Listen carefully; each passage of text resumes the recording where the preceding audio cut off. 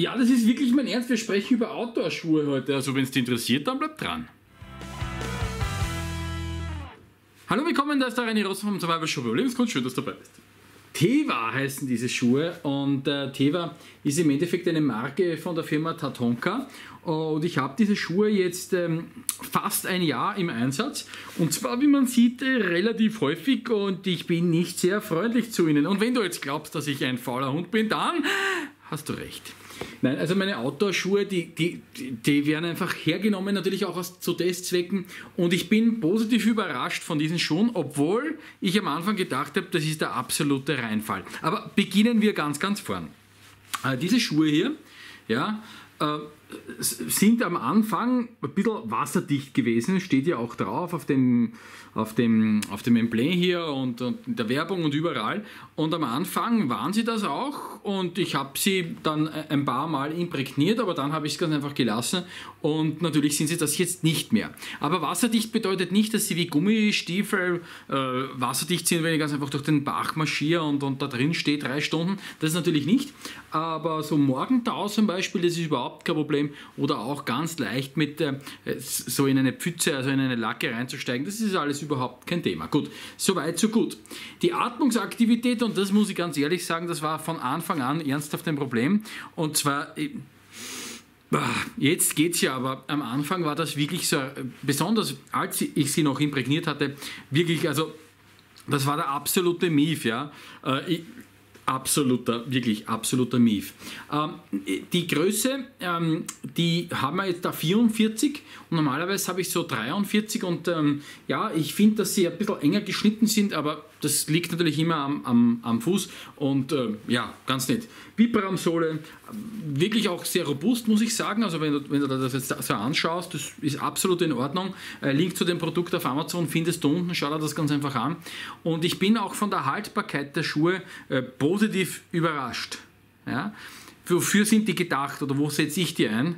Und zwar immer dann, wenn ich im Gelände bin, außer im alpinen Bereich. Und ähm, wenn du mich kennst und wenn du dir meine Videos öfter anschaust, dann siehst du, dass ich da irgendwie so ein bisschen so, da geht es so rauf und runter bei mir da, äh, wo ich meine Videos drehe.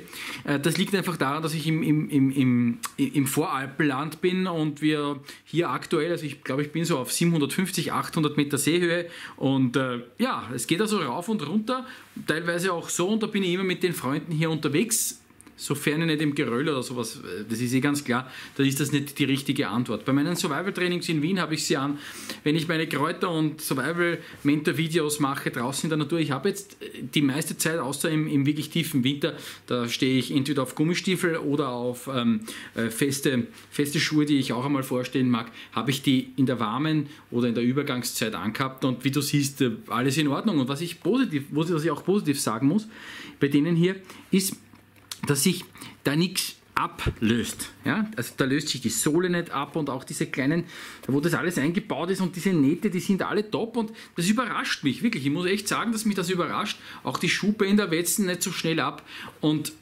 ich muss sagen, dass ich die mittlerweile ganz gern habe, obwohl ich am Anfang echt glaubt habe, ich schmeiße sie weg, weil sie so gemieft haben. Jetzt geht es ja mittlerweile. Äh, was das Fußbett betrifft, das ist natürlich auch immer wieder sehr individuell.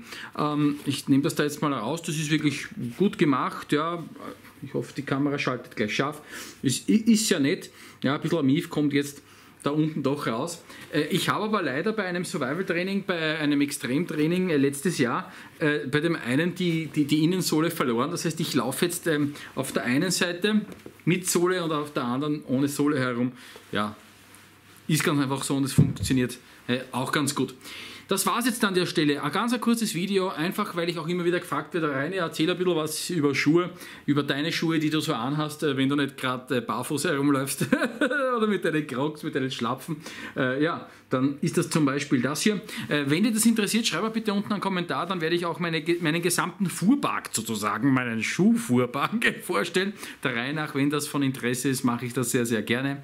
Ich mag dir aber auch um noch etwas bieten, und zwar, welche Outdoor-Halbschuhe hast du im Einsatz? Einsatz. Das würde mich und wahrscheinlich all die anderen, äh, die zu, zu dem Thema Interesse haben, interessieren. Schreibt es auch unten bitte als Kommentar. Da sage ich jetzt schon Danke. Daumen nach oben, Abo, ein paar andere Videos zum Anschauen. Link zum Produkt findest du unten. Dein Reini Rossmann. Bis bald. Ciao.